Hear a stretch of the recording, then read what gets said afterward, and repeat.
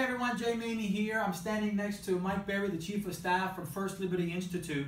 Our upcoming conference, the Thrive Conference, is lucky to have four fantastic charities that we're are supporting as a result of the event which is coming up. I wanted you to hear from First Liberty uh, Institute, Mike Berry uh, himself, so that way you can have a better understanding of why the conference is going to support so many, not only the attendees, but of course the charities that we are going to support as well. They've got a great organization. I wanted you to hear from Mike himself as to what they do that makes them unique and how your attendance will also be a way to support their organization as well. Mike, go ahead and share with our attendees a little bit more about the organization and, and what makes it so special.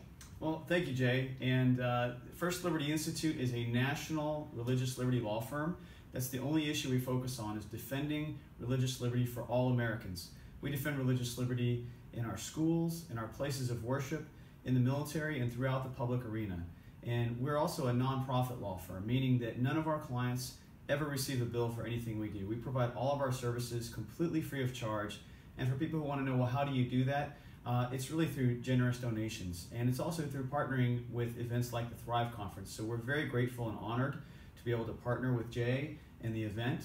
And we thank all of you for coming out and supporting not just First Liberty and not just the Thrive uh, concert, but really the community.